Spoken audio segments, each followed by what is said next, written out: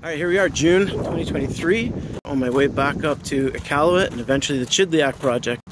Last year, we got completely weathered out, stuck in Iqaluit, made it out there for 45 minutes, got our data. This year, we got gigantic plans we got to get done. So hopefully we can do it. Here we go.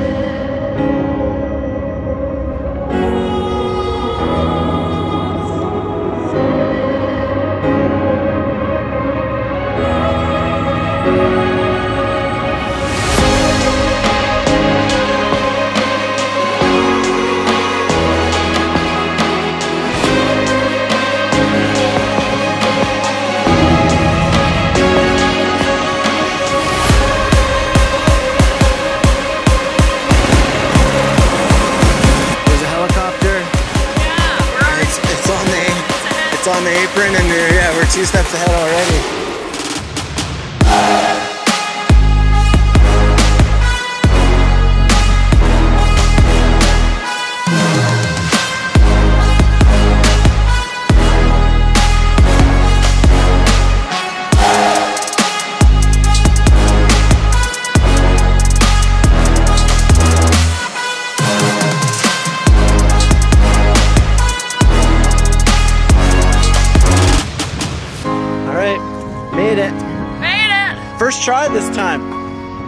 Look, it's still winter here. Amazing.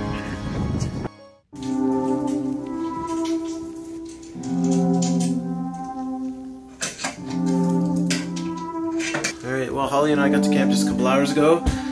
Wasted literally no time. We're in a storm haven right now, trying to piece everything together. Good thing is, it's uh, the end of June, so the sun just is barely gonna set, so we're just gonna work for the next 48 hours straight.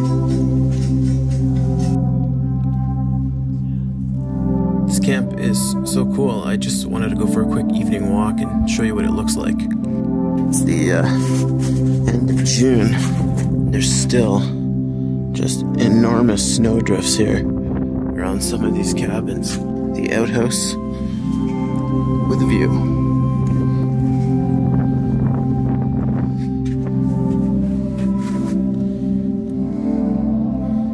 Oh gorgeous today.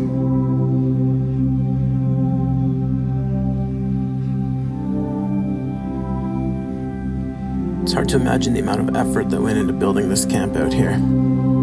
It's very comfortable, it's got everything you need. That was the end of our first day at camp. Wake up tomorrow and do it all again.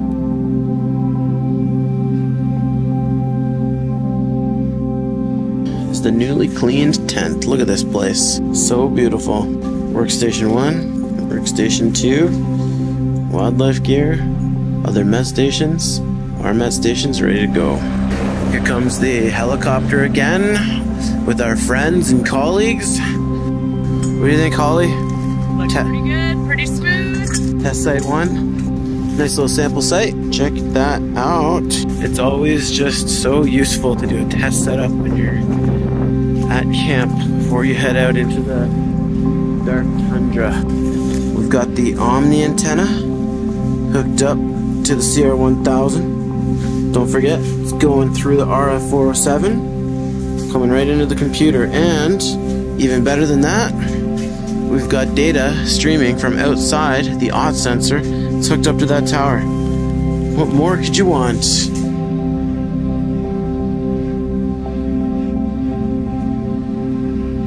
heading down to the helipad. All our gear's getting around the skid steer. Try to get a couple of sights in today. It's gonna be amazing.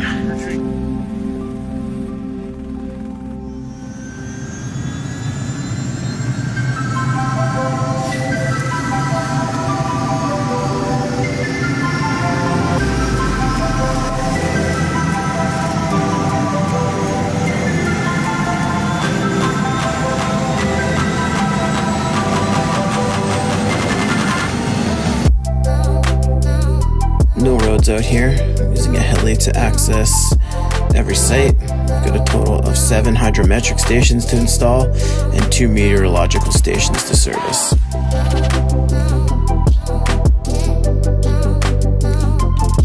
Every site is unique. Every site was beautiful. Every site was extremely windy. But Holly and I are tough as a bag of nails. Who needs dexterity, anyways?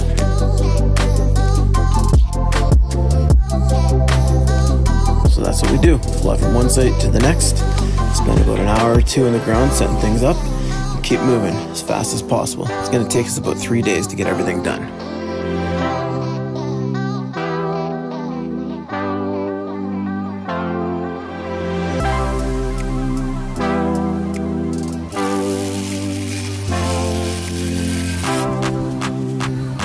If you ever wondered how to clean a Hilti hole, now you know! Okay, Holly and I are just getting started on seven of seven sites. That means we're on our last one. And not surprisingly, this site is also windy. So windy, in fact, that your snot just blows right out of your nose. If you're standing sideways, your snot's gonna end up way out there in the tundra. Okay, so we're gonna get this one up. And then it just feels so good to be done a uh, huge push. So that's it. Holly and I are done our scopes of work this year, which is just so unbelievable after so many years of weather challenges. Couldn't be happier. So we're just gonna go sit around at camp and be lazy bums and watch everybody else work. Ha! Joking. No, we're gonna help our colleagues with some of their work now.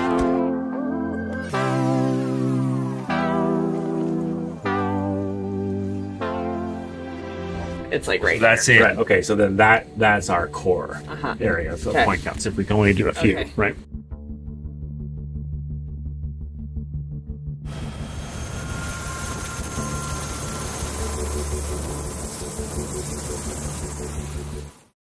My name is Jason Jones. I'm a director and senior biologist with Ecologic Consultants Limited. I'm a wildlife biologist by training. I've been working on De Beers' Chidliak project since 2013. We have two main programs ongoing at the moment.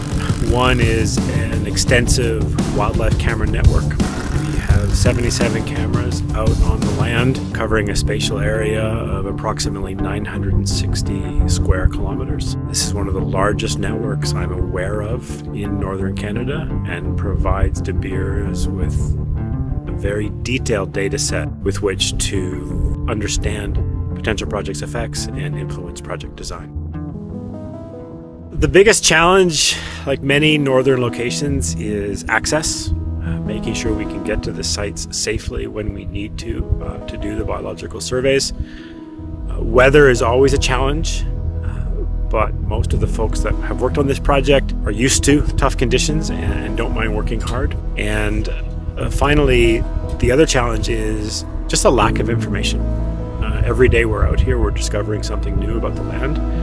And with De Beers' growing partnerships with the Inuit communities that surround this project, we're able to connect uh, the scientific data that we're collecting with the uh, Inuit knowledge uh, that has been gathered since time immemorial at this location. One of the things I like about working on this project is the folks on the environmental side of the business and the archaeological side of the business are interested in the story that land can tell us and how that story will allow us to contemplate the development of a unique project in this landscape. And that storytelling aspect of what we do is very exciting to me. Alright, we pretty much always got to be ready for the plans to change around here.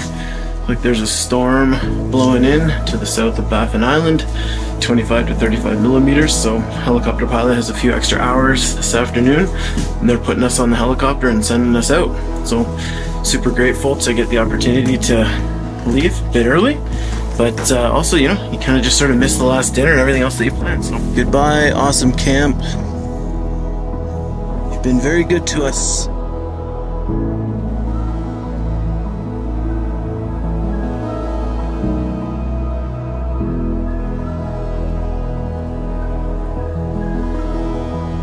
Okay, Holly, that was a job well done. Yes, it was. Martin, thank you for the ride out.